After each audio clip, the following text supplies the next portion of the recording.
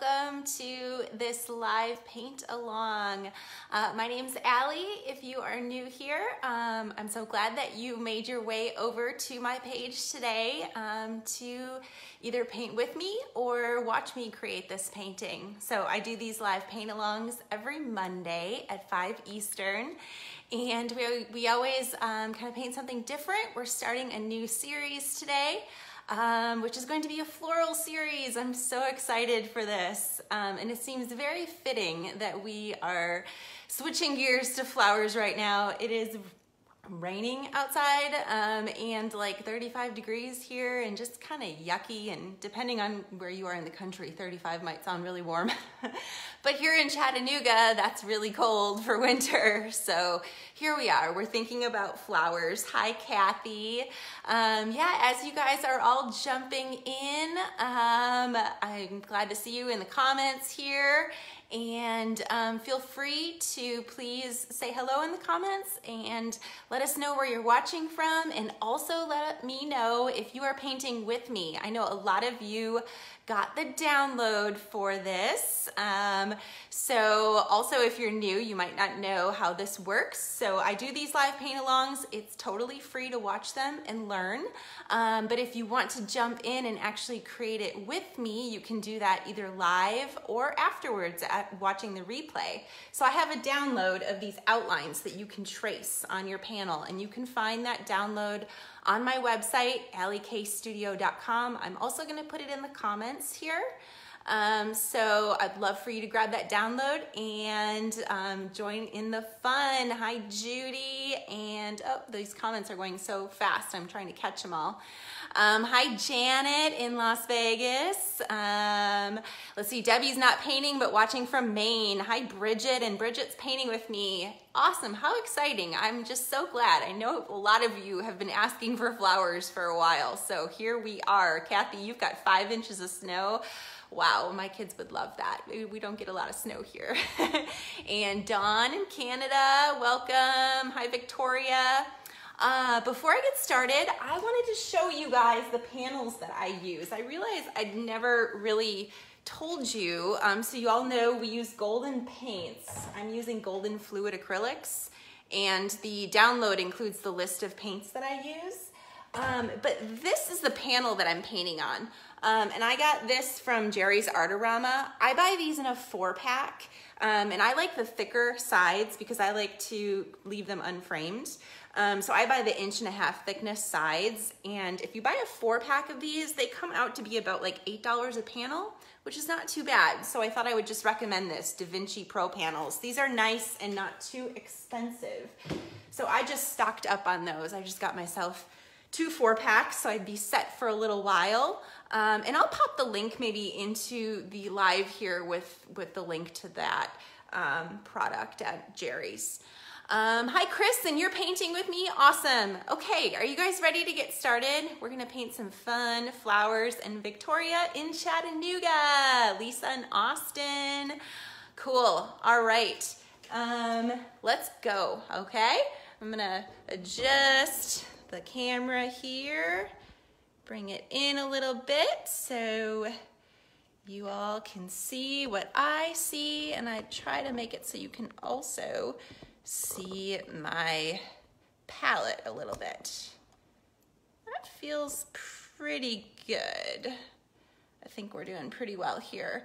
Um, okay, does that look good to you guys? I think that looks pretty good. I try to squeeze everything that I can in so you can see what's going on. You can kind of see some of my mixing here. I'm gonna try to do most of my mixing up in front so you can see a little better. I guess you can see over here too. So we'll try to do some mixing there.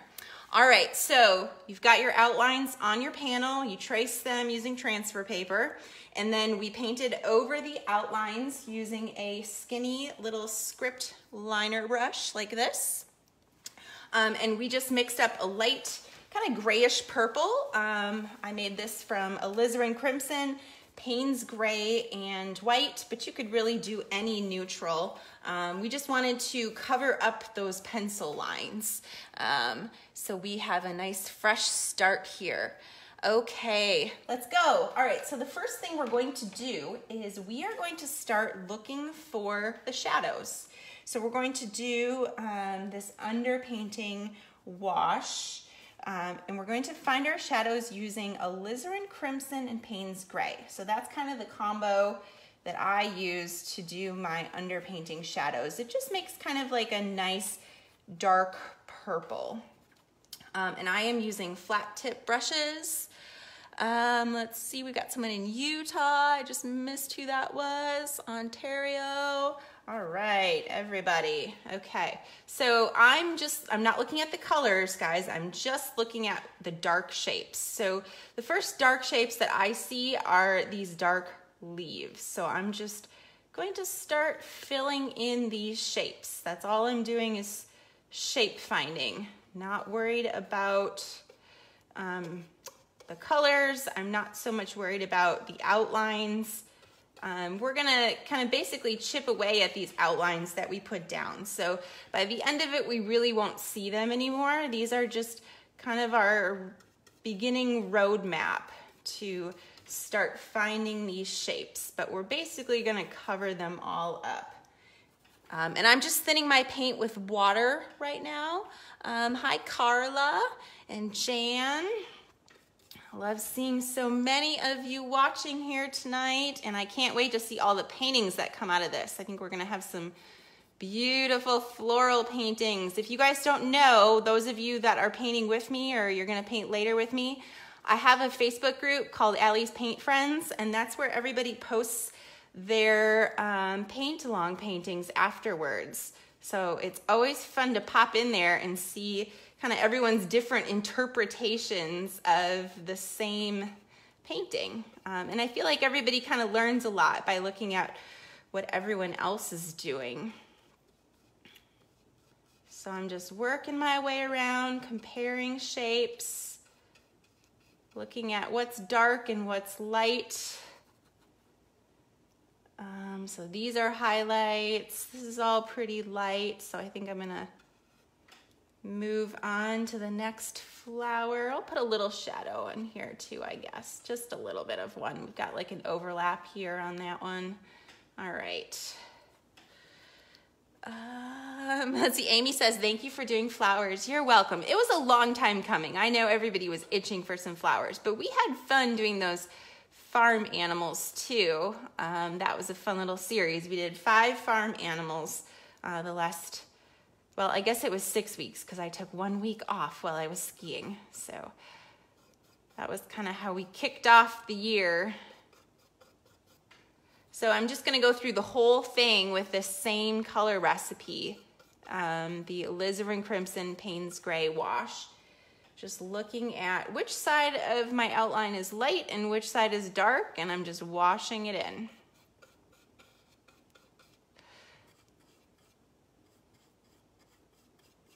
And I'm, I probably am using too small of a brush. I'm using a number one. I should probably be using a number two for this right now.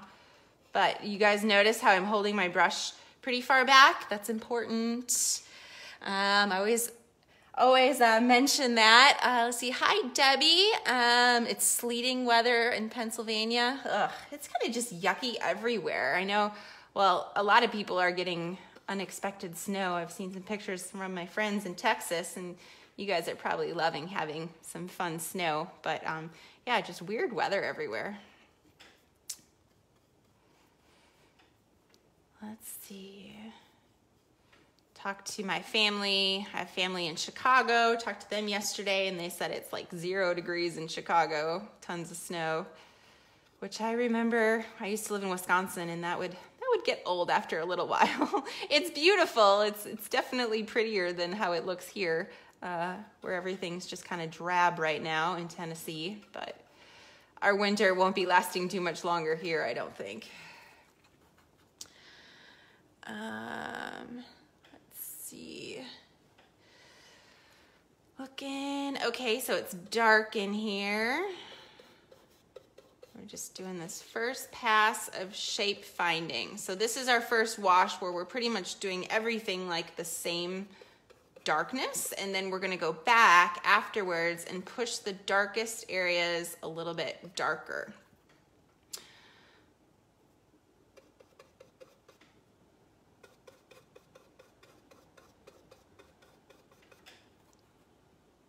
And this was maybe a lot of flowers to include for our one hour demo. So we're going to like definitely be simplifying. We're not gonna put all the details because this is a quitty, a pretty quick painting. Oh no, I'm stumbling on my words already.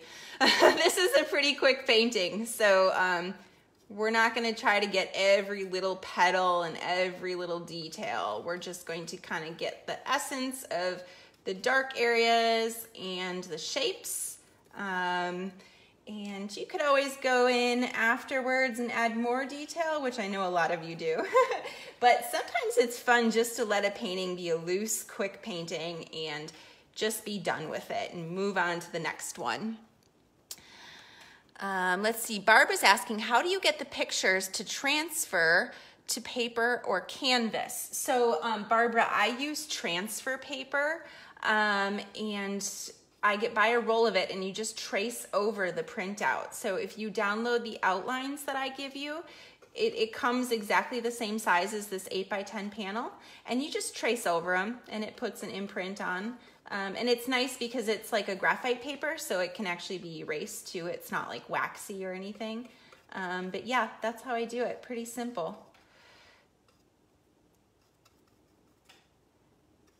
And that saves a lot of time um, where you don't have to be doing all the drawing and comparing the proportions. I talk a lot about how I save a lot of time by just transferring outlines because it's not that I don't like drawing, it's just that it takes so long and I really like painting. So I just like getting to the painting part right away.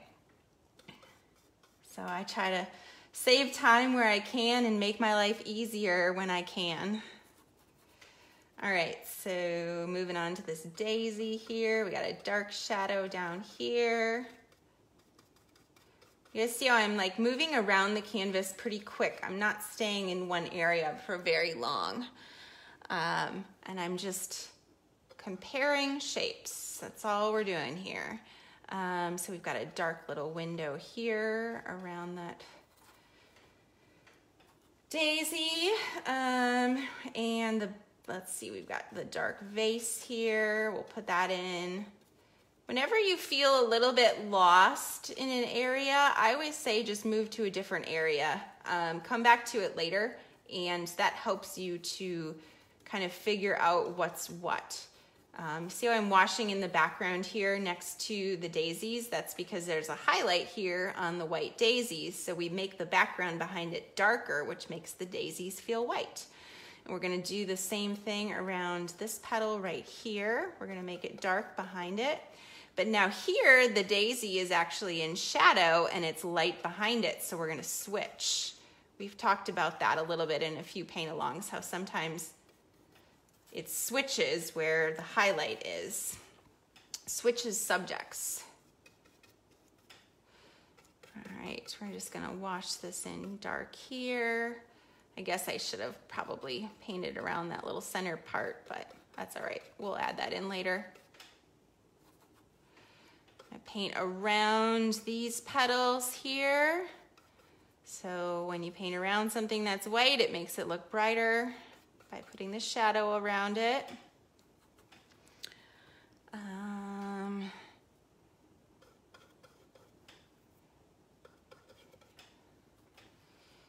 all right, just moving around. Got a pretty dark shadow right in here.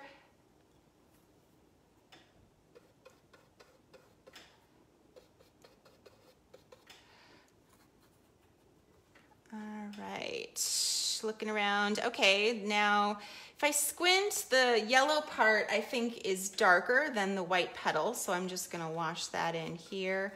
The center of this daisy is not as dark as the one over here because the one over on the right is in shadow, so I'm just gonna wash that in, not quite as dark.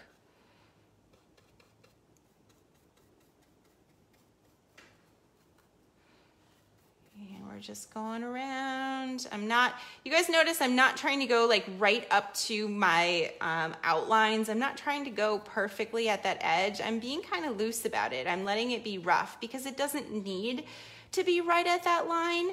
Um, and that also helps to kind of make those outlines go away and dissolve when we kind of, you know, intentionally go up to them a little bit more loosely. Um, all right, moving along, we've got a shadow underneath this petal and we've got the vase down here that is dark. Putting that in. A little dark shadow on the side here. Um, and if anybody is just joining us, let me just say welcome again. My name's Ali, and I do these live paint alongs every Monday at 5 Eastern. Sorry, I keep getting texts. keeps happening that seems like everybody wants to talk to me while I'm doing my demos. All right. And um, this is the first of a series we're doing of floral paint alongs. And you can actually download the outlines on my website and paint with me. And you can do that afterwards too. If you're just joining me now, you don't have your outlines, just watch on this one and you can go back um, right away. It's available as a replay on my page. So that's always fun. And then you can kind of paint at your own pace too. I know I work quickly, but that's just because I'm getting this done in one hour. We don't have a whole lot of time, so I just kind of knock it out and then if you're a fast painter, you can paint fast with me, and if you're not, you can do it afterwards. Okay, so we kind of got a wash of color going all around the whole thing there, and now I'm gonna go back and push the darkest areas darker. So I'm going to go back with my same two colors, the alizarin crimson and Payne's gray, Except now I'm gonna have less water and I am just going to um, push those darkest areas. So I'm looking for where it almost looks black in my reference image. Um, so these areas of green leaf, I know it's green, but I'm still just gonna wash it in with this dark kind of reddish tone. Put a little bit more Payne's gray in there. Reddish purple tone, I guess.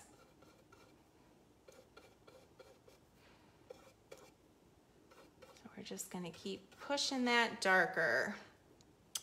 And then we've got this little window of dark right here. Moving along here, we've got some dark in between the flowers. So if you have your darkest darks and your lightest lights in the right places, a lot of the rest of the painting can kind of be willy-nilly and it'll all still make sense. Um, the most important thing is getting those dark darks and light lights correctly in there. So those midtones, it's not that they don't matter, but they certainly don't matter as much. And if you're crunched for time on a piece, finding those darks right away and those brights right away is really the most important thing. Got pretty dark in the center here. That's kind of dark right here too. Not as dark, but I'm gonna put a little bit in there.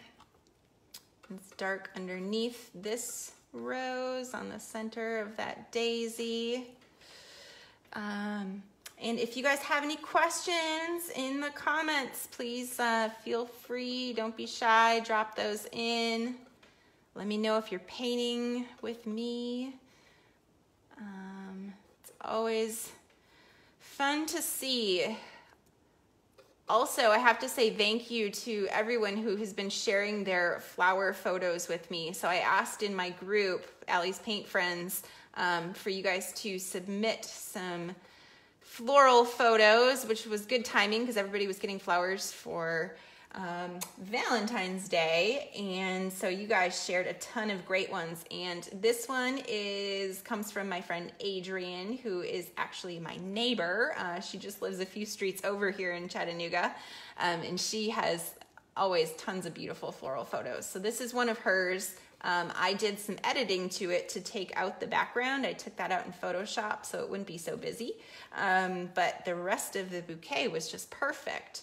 But um, I was about to say, we're gonna do at least four more of these floral paint along. So keep those photos coming of your beautiful flowers because I might pick yours and then you get your download for free and we get to paint your flowers. So win-win. All right, moving along with more of these darks. I guess it's real dark in here. Um, let's see, Pat's asking, how do you prepare your board for painting?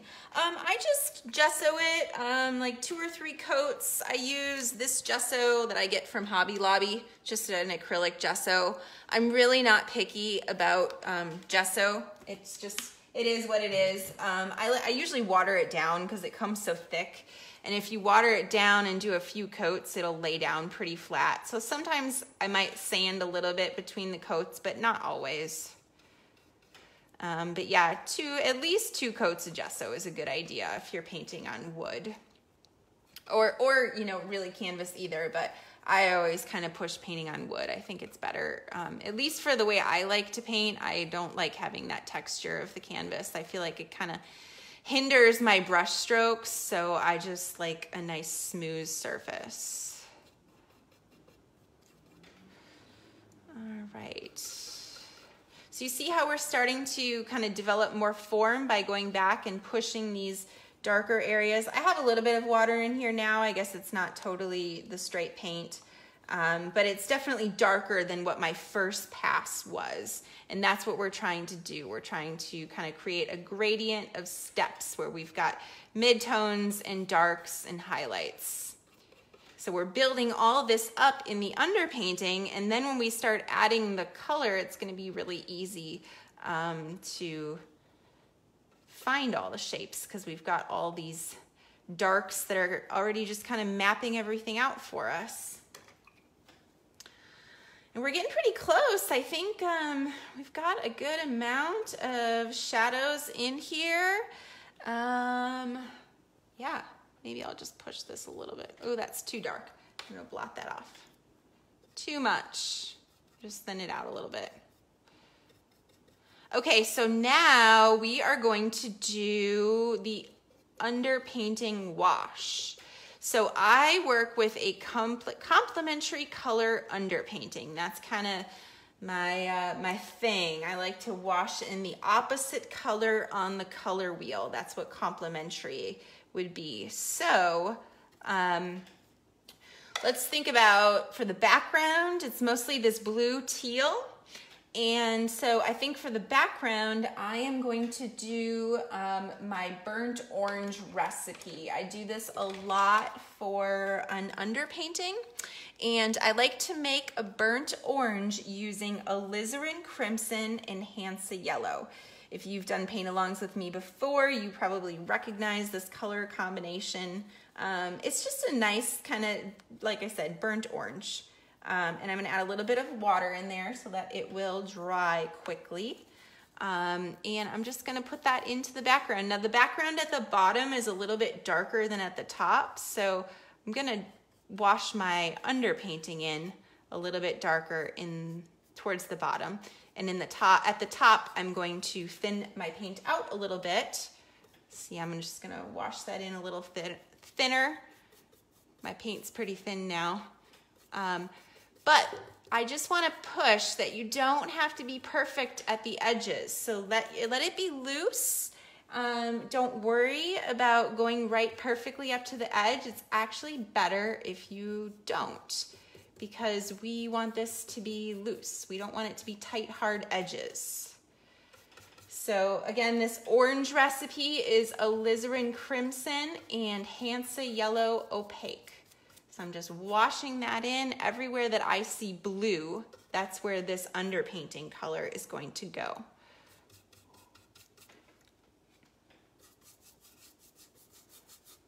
So it's pretty thin at the top. Now down at the bottom, I'm gonna get a little bit more paint and I'm gonna wash it in a little bit darker. Maybe I'll even use a little bit more of the alizarin crimson down towards the bottom to push it a little darker. And when I put in this blue background, what, like I said, I took out, there was kind of a busy tablecloth um, behind it. I did that in Photoshop. When I took it out, I put in like a gradient. So I made it lighter at the top and darker at the bottom. Um, Janet's asking, what are the colors for the burnt orange? It's alizarin crimson and Payne's gray.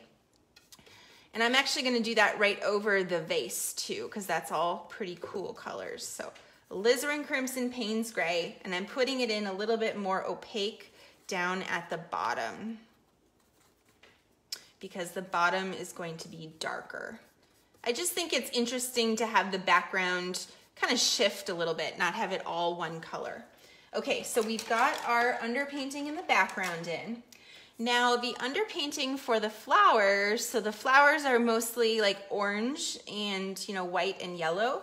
So I'm actually just gonna do the same color underpainting for all the flowers. I'm going to do um, uh, permanent violet dark. That's one of my other favorite, favorite colors from Golden, which you guys that follow me recognize, I'm sure. Um, I use this underneath skin tones all the time. I, every time I paint skin, I put this color down. It's just gorgeous. Um, and it looks very nice underneath a lot of colors. So we're just gonna put this down under everything. You see I'm not worrying about where the shapes are. I'm not uh, worrying about my outlines. I am just washing this color in. Now in the area where I'm gonna have this white daisy, I'm gonna thin my paint out a little bit and make this purple a little bit lighter because I know that that area is going to be lighter. So I am thinking a little bit about, you know, that ultimate end game color. But it's more about the light and dark than it is about the actual color. I hope that wasn't too confusing.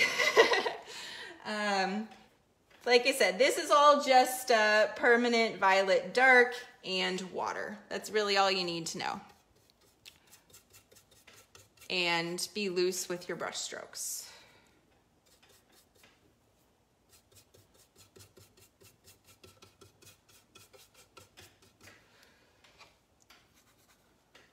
And hopefully this underpainting will dry fast enough so I can start putting the flowers in. That's always kind of my issue when I'm doing these lives. We go so quickly. I need the underpainting to dry.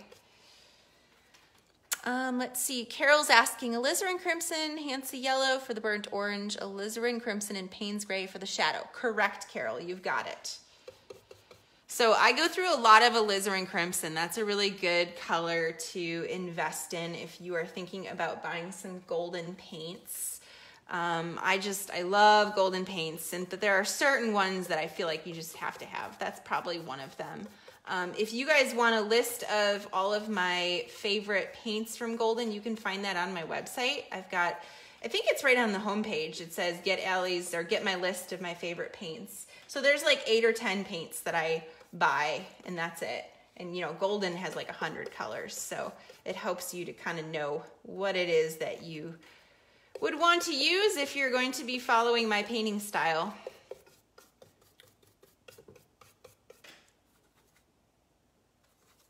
And again, that's just on my website, alikaystudio.com.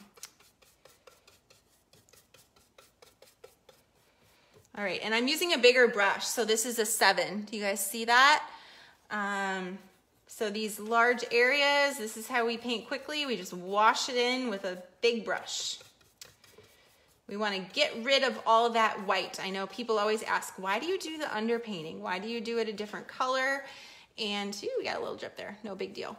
Um, and part of it is just plain getting rid of the white. I just can't approach a painting if there's so much white. So that's part of it. And then also the colors underneath will make the over painting colors pop and look really amazing, which you will see as we layer colors tonight.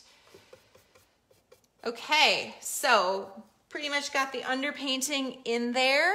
Um, let's see, thank you, Francine, looking great already. Well, I, I hope that we get it a little bit better, but we're moving along, right?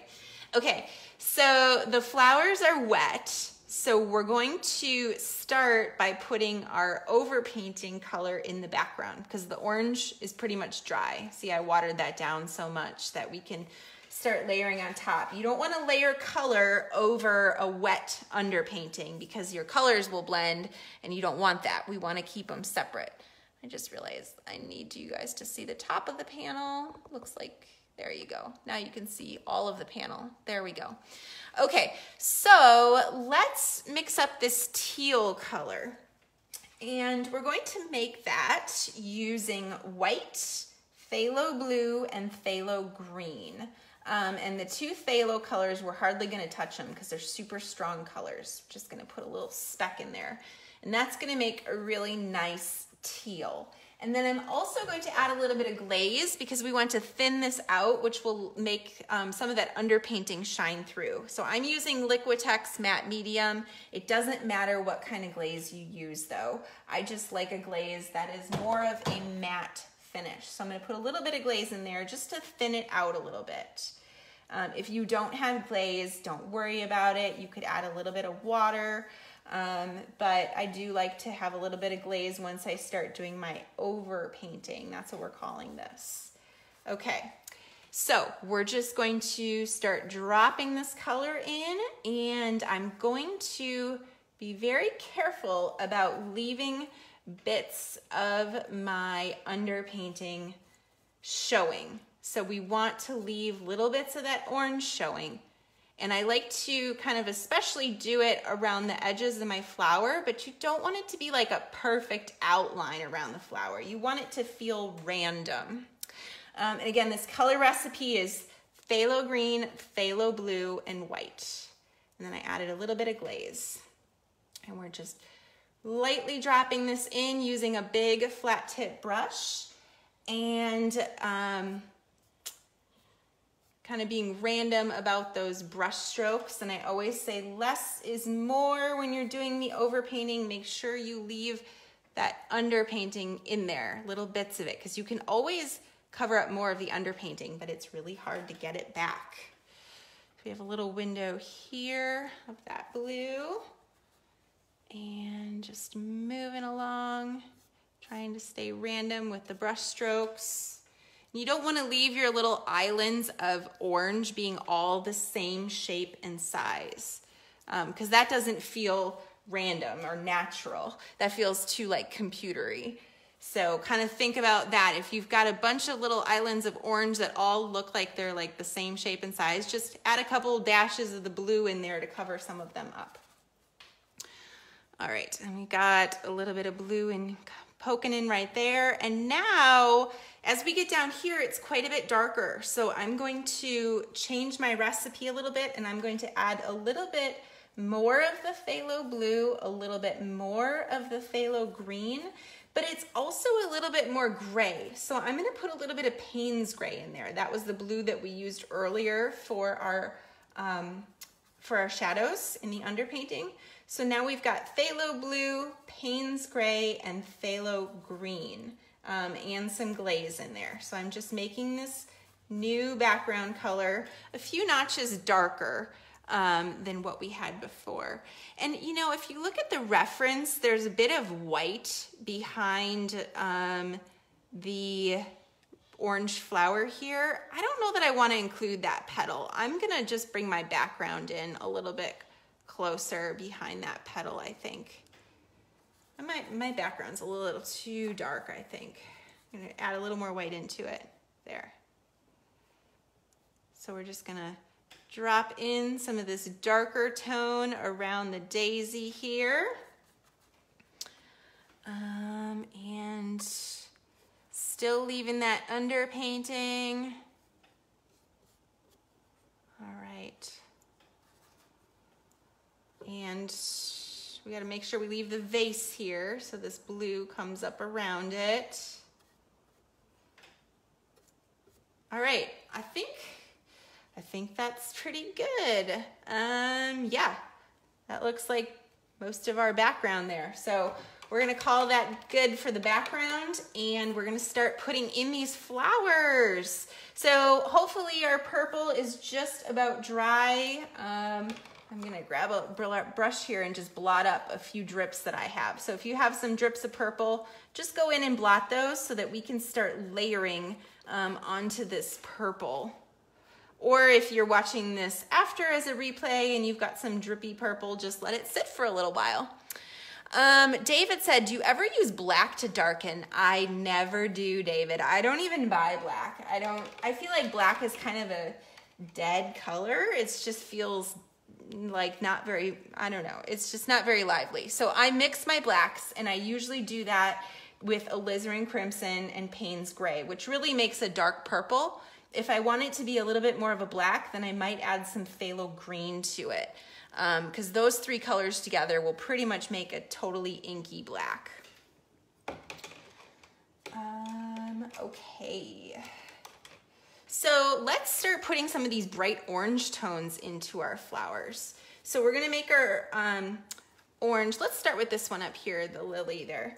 So we're gonna make this orange using Hansa Yellow Opaque.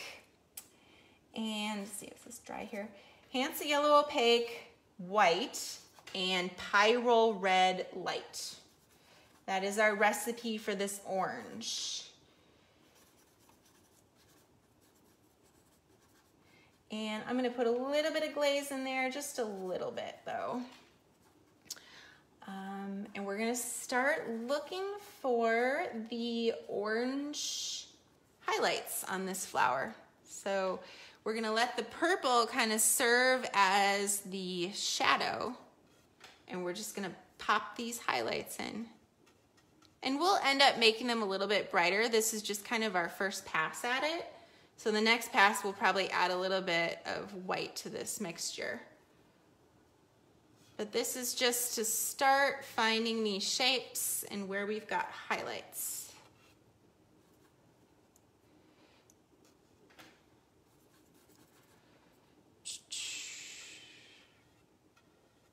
And when you're painting flowers, you really want to think about the fact that they don't always have the highlight on the same part of the petal. So those highlights kind of jump around. On one part of the flower, the highlight might be on one side, on a different part, it might be somewhere else. So you don't want to be too mechanical about where you're putting your highlights. You really want to always go back to the reference image and only paint what you see, not what you think you see. Okay. Okay, so I think that's all the highlights I wanna put in this one. I'm gonna move on to the next one and I'm still keeping the same color. I might just add a little more red to it. Again, this mixture is Hansa Yellow Opaque, Pyrrole Red Light, and White. And you guys have a little bit of a glare here, I'm noticing now that I'm putting the color in. I'm just gonna adjust some lighting here.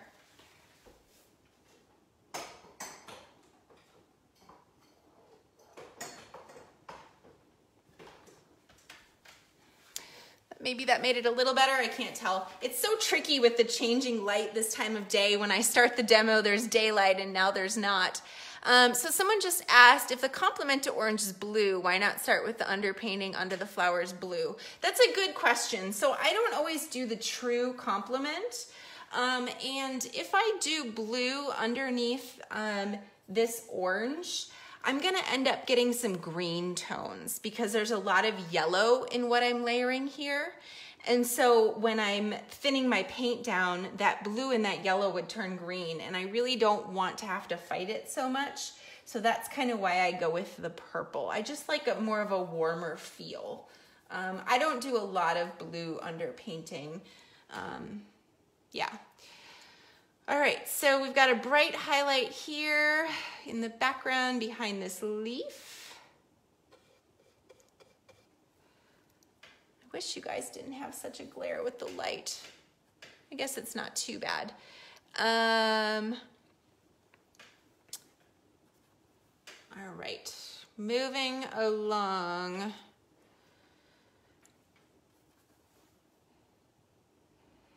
Now, this petal is pretty dark. Over here, we've got some highlights here. And this flower is um, a little bit more pinky red, so I'm just gonna drop a tiny bit more of the um, pyrrole red light in there as I'm moving over here. We'll push this one towards the reds a little bit more later, but right now I'm just looking at highlights. I'm just looking to find these shapes and I'm not caring so much about the tone of the flower.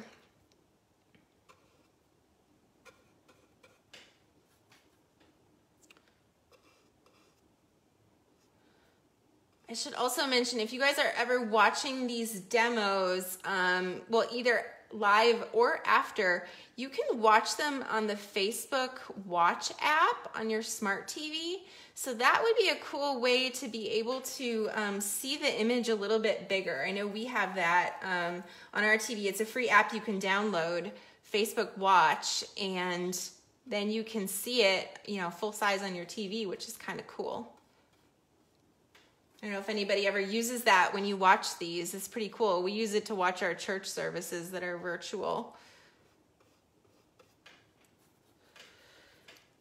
Okay, got a fold here for a highlight, another one here, and highlight right there.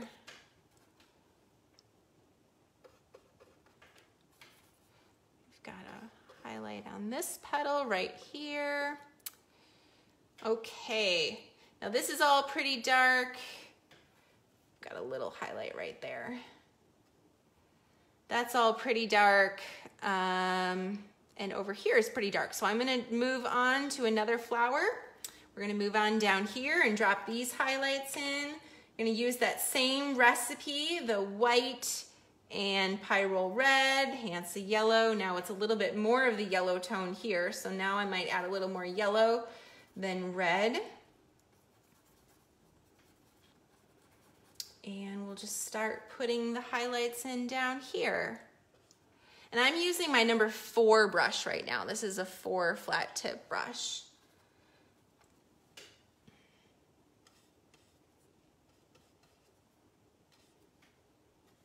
And remember, leave little bits of that purple showing. I don't know if I said that earlier, but when we do this underpainting, we don't want to cover it all up, and it's really easy to get carried away and start doing that. So think about it now um, that you want to leave more of it.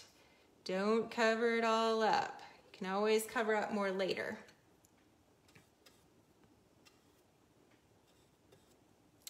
Okay, now this petal is actually pretty dark, so I'm not gonna put, it's this one right here. This is in shadow. I'm not gonna use this bright highlight for that one. I'm going to uh, put that in later when I add some of the darker tones. So I think I'm gonna move on from this flower and we'll put some in up here. Now we're gonna add a little bit more red back in because see this one's more red, so I'm gonna go back to the pyrrole red and add a little bit more of that in. So I'm still using the same puddle on my tray. I'm just kind of fluctuating between adding more red or more of the yellow. So we're gonna start with the highlights that are easy to find. There's this one long one here that's gonna help us to kind of place everything. Highlight there. So I always say, if you're confused, start with what's easy. Figure out the rest later. But don't ever, um, you know, just start painting things willy-nilly if you really aren't sure what something is or what the shape is. Just wait, because if you just start putting paintbrush strokes down, you're just gonna make yourself more confused if you're not actually sure of what it is you're painting on the reference. So always be aware of when you're making a brush stroke, be aware of where that is on the reference image.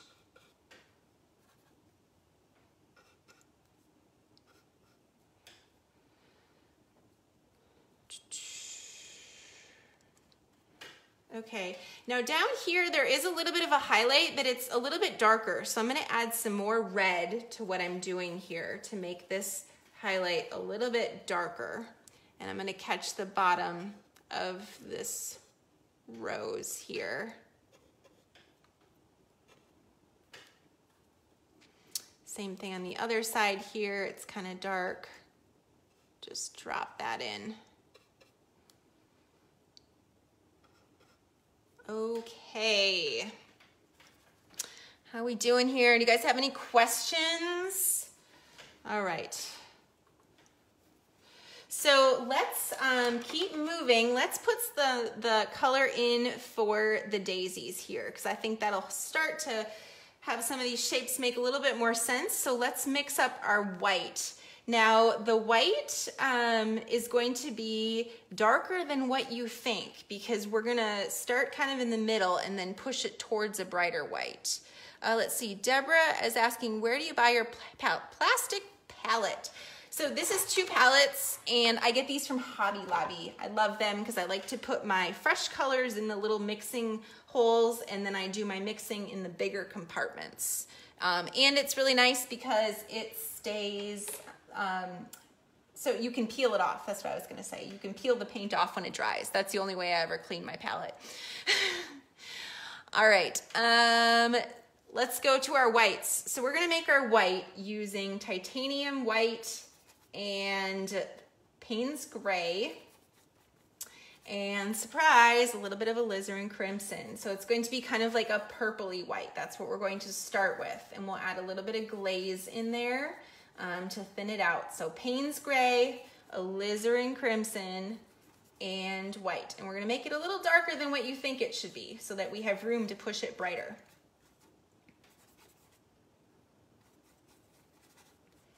All right, so let's start dropping that white color in for the daisies. Um, okay, so we're going to make sure we um, leave some of that purple. Not gonna cover it all up. And we're not gonna make all of the daisy petals the same shape. We wanna think about the fact that they are overlapping each other and they're just different, they're natural. So we won't see like perfect dividers between all of them either. With things like flowers, I think um, because our brains, you know, we really know what a daisy looks like. We know what flowers look like. Sometimes that can work against us because we're trying to create something the way we think it should be and that's not actually how it looks in the reference image. So really try to think about conquering that when you're working on floral paintings and really just painting what you see exactly. Now you can do some editing like we talked about up here there was an extra white petal behind um, the rose and I don't want to add that one in. I mean you can do things like that but just be intentional about it. Okay so let's first pass at the white on this one. You see it is kind of dark, but I promise you it's gonna brighten up. And now we're going to do first pass over here. Now these are really dark right here. I'm not gonna put any of this highlight in over here. That's gonna be too dark. And these are pretty dark right here too. I might just skip that. Maybe I'll just do a tiny bit.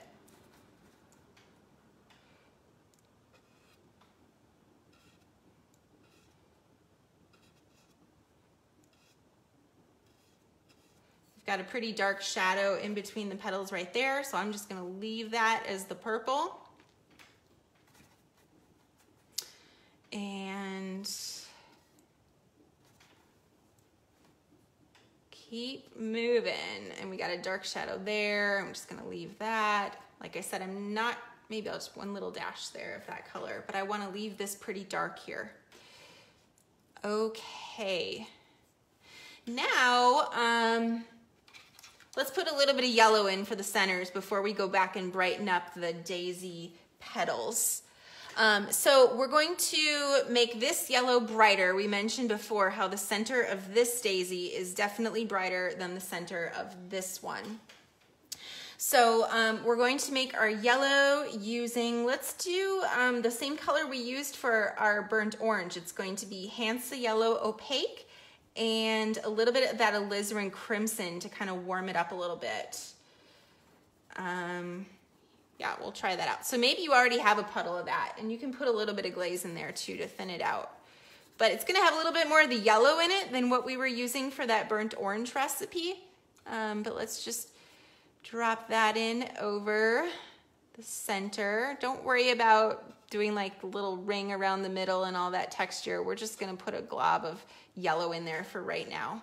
we can add a little bit more texture in there later on. Now over here, this one really is more like green. Um, so I'm going to put a little bit of Payne's Gray in with that same recipe. So now it's Hansa Yellow, Opaque, Payne's Gray, and Alizarin Crimson. So it's more of like an olive green. We'll put that in there. And where it's really dark, maybe I'll just leave my dark purple shadow that I already put in there. Okay. That looks good. All right, so now let's go in and brighten those white petals a little bit.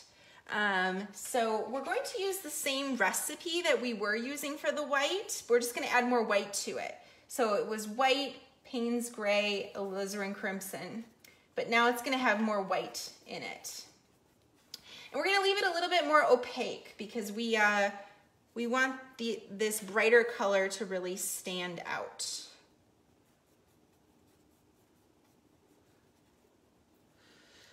All right, so I'm gonna look and see which are my brighter petals and I'm just gonna brighten those up. I'm not gonna fully cover the petal. I'm just gonna catch the brightest parts of it. So that's why we put our first pass of um, the white down not quite so bright because that gave us some room to play with it. If we went straight white right away, we couldn't go any brighter. We'd kind of be like painting ourselves into a corner.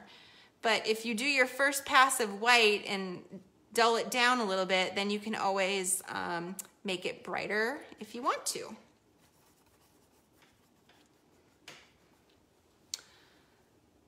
And we've got some here. Do you guys see how I'm kind of putting these um, petals in like in one stroke? I'm not doing a bunch of little dashes. I'm just figuring out where the petal is and I'm just laying it down at once. Um, and there's a lot of reasons I do that, but I feel like it makes your brush strokes feel more confident than if you have like just a whole bunch of hashes all over the place. It makes it feel more like I don't know, like like you meant to do it. You know, it might be loose, but it was like intentional, I guess. Okay, so we put some bright highlights in on that one. Let's move over to this one. Um, let's see, Pat's asking, what brand paint do you buy for the titanium white? I buy um, Golden, uh, Golden Fluid Acrylics. I buy all my paints, um, they're all Golden Fluid Acrylics.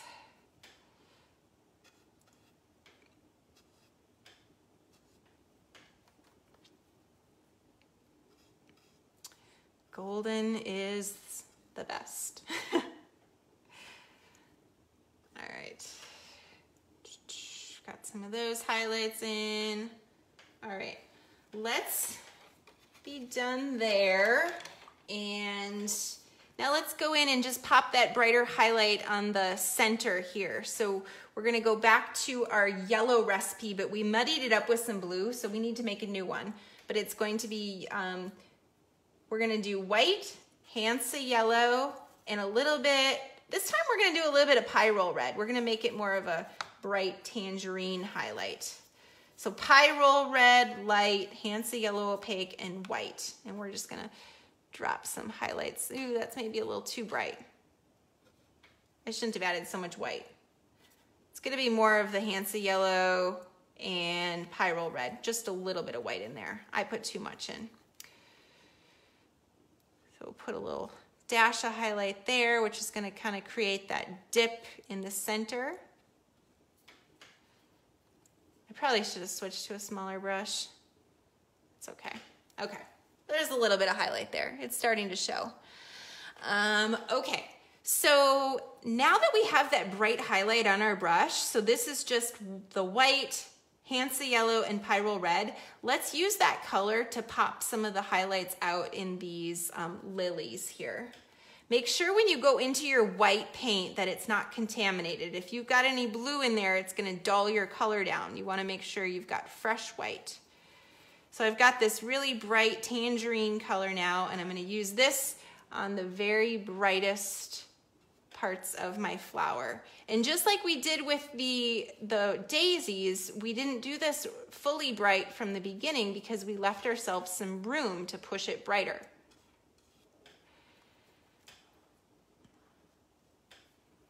Okay, a little bit brighter here. Let's move down to this one, push that a little brighter, and add a little more white. I'm gonna make it a little bit more contrasting. Okay.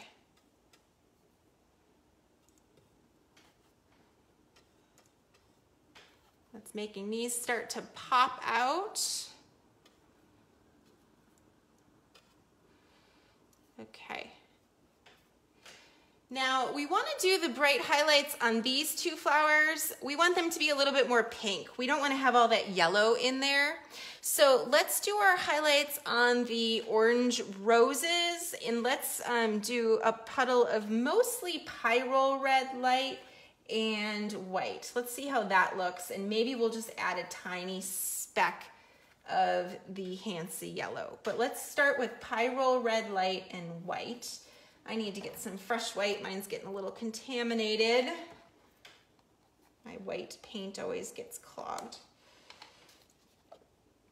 Okay.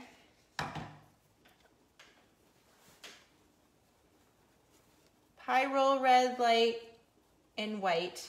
Just a little speck of yellow in there, of the Hansa yellow.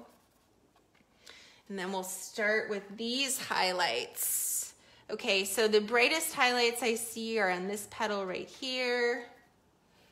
Got a chunk of it right there, a little bit right there.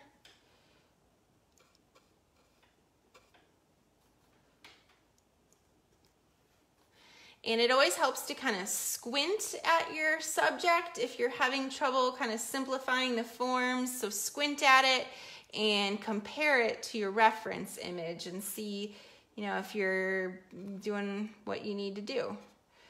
Or if maybe it's way too light or way too dark.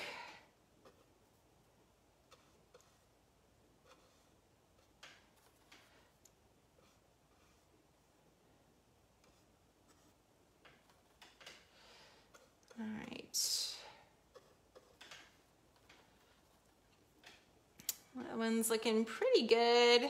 We'll come back to this, but just want to get some of these bright highlights in. Let's do the same thing over on this one. I think I need to add even more white.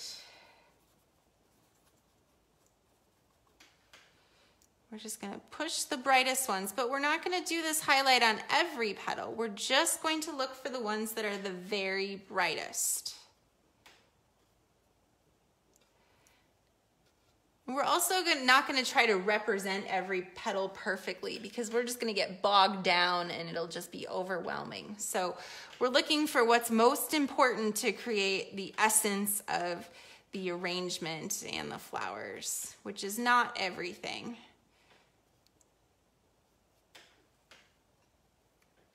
Okay. Looking good. Okay, so remember I mentioned how we needed to put some of these dark areas in? Like there's a big petal right here that we haven't touched. It's right here. But if you squint, it's really dark. So we need to make this kind of dark yellowy orange tone. Same thing right here. Um, and so the way that we're going to do that is we're going to mix up, let's see, we're gonna do Hansa yellow, and um, a little bit of that pyrrole red and some glaze. And we might just put it in like that and let, we're not adding any, um, we're not adding any white to it. We're just gonna see how this looks when we glaze this in over that purple that we put down. It might be all we need. So this is just Hansa yellow, pyrrole red. Let's see how that works. Yeah, that's that's pretty much what we want to do here. So don't have any white on your brush. Do just Hansa yellow, pyrrole red. I have a little chunk of paint in my brush there. You see how that just, that's, it works for us. That's why we put that dark purple down first because we kind of like built up those shadows for us um, in advance. Same thing with this little bit up here. And we'll do that with this petal right here. Need to get a little more paint. So again, Hansa Yellow Opaque, Pyrrole Red, a little bit of glaze. That's what we're putting these dark petals in with.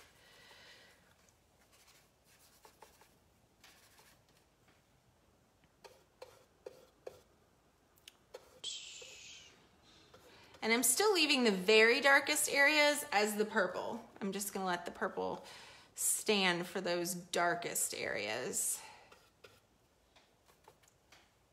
That's why it's so it's so much fun to work with an underpainting because you can kind of play around by letting those areas of the underpainting work for you and just kind of show through. Makes your life easier where you don't have to do as much work because a lot of the work is already laid down for you. Makes it feel like you're cheating. Okay, where else do we need to do this? Okay, so we've got some dark shadows in these. Oh, let's do it up here before we move on. Let's put those petals in.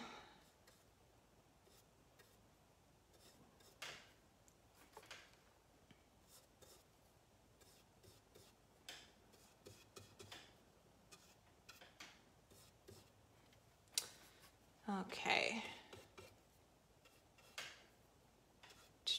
Okay, so the dark shadows in the two um, orangier roses, we want to um, we want to add a little bit more red to it now. So let's still do the same two colors, the Pyrrole Red Light and Hansa Yellow Opaque, but let's just add more of the Pyrrole Red to it. And let's wash this into those shadows and let the purple work for us as um, the shadow. So we're just gonna go right over some of those darks we already built up with the purple.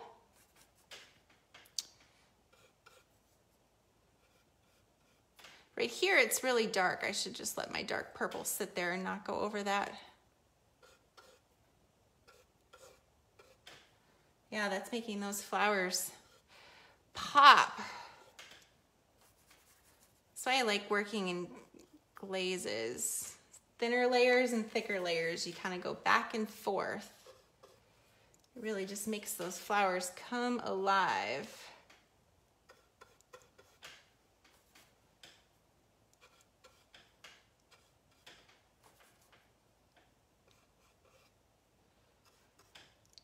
We don't want to cover up all that purple, but want to kind of make the pieces start fitting together a little bit more.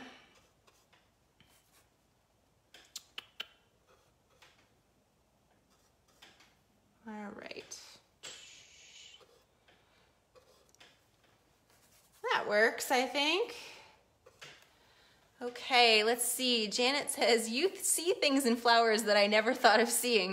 well, thank you, Janet. I hope that I hope that watching these um, makes you start kind of seeing things differently, you know, as you go through watching a lot of these demos that hopefully it kind of makes things trigger in your mind um, just by, you know, practicing and watching and learning.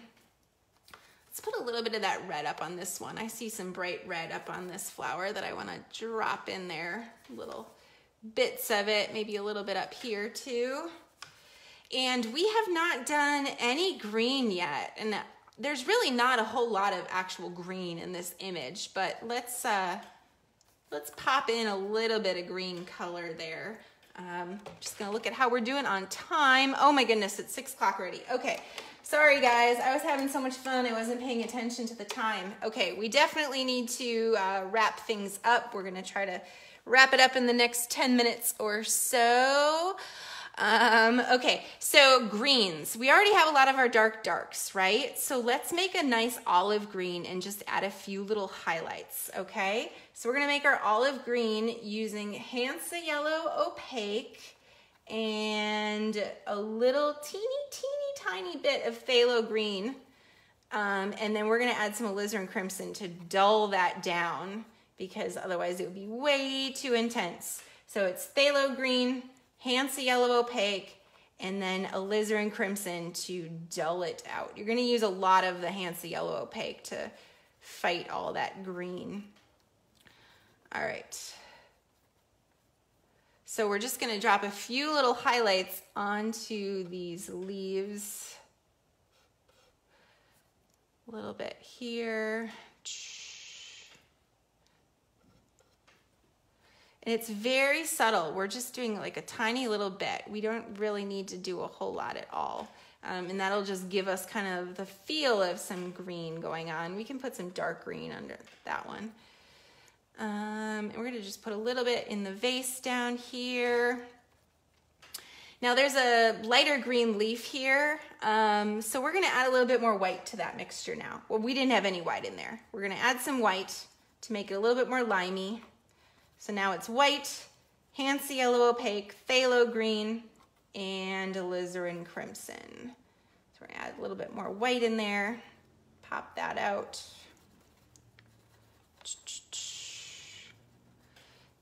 And there, there's kind of this bright leaf right there that I wanna get in. And we'll brighten this up a little. Just a couple of tiny little dashes of green will do the trick. There. That's all we need, I think. Okay. Let's see what Let's put the little um, edge of the vase is like a mason jar. And so let's just indicate that a tiny little bit. Um, let's use, um, we're gonna make a grayish blue using white, Payne's gray, and let's use a little bit of that, um, that permanent dark violet. I think that'll be good. And we're just gonna add a little swoop there to kind of indicate the rim just a little highlight, not gonna put it in too perfect. And I'm gonna balance that out on the other side and give a little dash of that too. Maybe a little bit right here, just to kind of give us some indication that there's a vase going on there. Um, squinting now to see what else we need to do. I wanna add some little flickers of blue on the daisies. So I'm gonna make a bright blue using white and phthalo blue because um, I love those two colors together. You guys know as I get towards the end of a painting, that's when I bring out my, my secrets. Um, like this bright blue just always makes like every painting look good. So we're gonna, we're gonna throw it in there to make it look good, right? So let's just drop some of these little sparkly bits in here on our daisies. Yeah, I like that. We might even bring our whites a little bit brighter, but I just wanted to throw some of these little twinkle blues in there. That's what I'm gonna call them, the twinkle blues. It's twinkle blue time, guys. Um, let's get our, ooh, that twinkle blue was a little too bright, or too blue. We need more white in that twinkle blue. There. And these bright blues always look good against um, like that coral color on the uh, roses, blah. It's getting to be the end of the demo, guys. I'm starting to lose my words. Okay. Yeah, like those. I didn't even put anything in over where these petals are, but I don't think I really need to. Okay, I wanna drop some of this bright blue around the edges of our flowers because that's always fun too. And I'm gonna do it more so up towards the top where it's brighter. It's kind of like the light will be like dancing around them.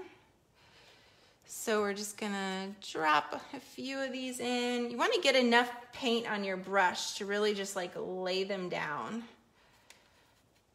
So I'm mixing up a pretty good puddle of them. Um, thank you, Judy. Glad you enjoyed watching and everyone else who is watching. All right, let's decide where we want to do these. So I like to do these little twinkles just because I feel like it kind of like frames what we're doing. Um, it just kind of gives it some kick. Um, I do this with my portraits too. Just like to kind of give a little halo of light around the um, subject.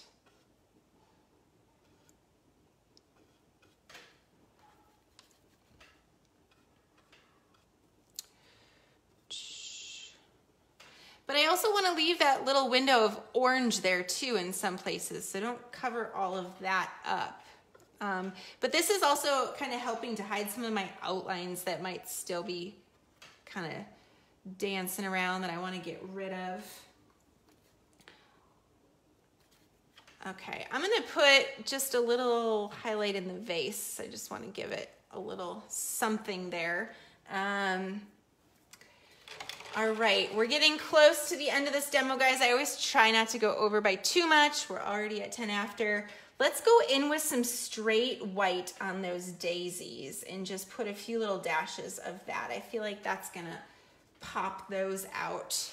Um, so I usually let like wait till the end of a painting to add straight white. Um, because you don't want to put it everywhere. You just want to put it in the very brightest places. And then it really pops. So don't put it on every petal, just put it on the ones that feel like in the reference image, they are the brightest. Um, you're welcome, David. Sorry, we're going a few minutes over if you guys have to go. I understand. This will be um, available as a replay. And I also always post these on Tuesdays to my YouTube channel, so you can find it there too. If, uh, if you prefer watching on YouTube rather than on Facebook. But either way, it's gonna be there. You'll find it. Okay, the last thing I wanna do is just push the very darkest areas a pinch darker. So I'm going to make a black using Payne's Gray and alizarin crimson and just that tiny speck of that um, phthalo green now. So this is gonna be like a real inky black and we're just gonna throw this in the very darkest places. Remember I said you wanna get your darkest darks in the right places and your lightest lights. So now we know exactly where to put this because we have all these like context clues from everything else that we have done.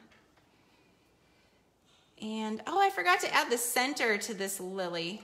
You guys will have to just drop that in there. You can see where it is.